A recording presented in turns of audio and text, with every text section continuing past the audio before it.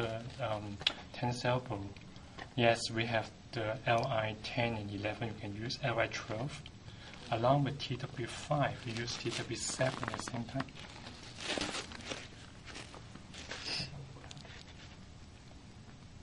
Right here. So measurement from from the anatomical landmark is one thing, palpation is the other. The mm-hmm. best is the two speaks mm-hmm. speak to each other. Mm-hmm. for for example, like in her uh, forearm, after you measure, you do feel a little bit indent gap right in here that you can uh, put the needles in. Right.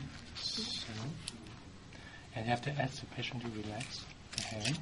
So then the holding the muscle too tight, end up having problem in putting in.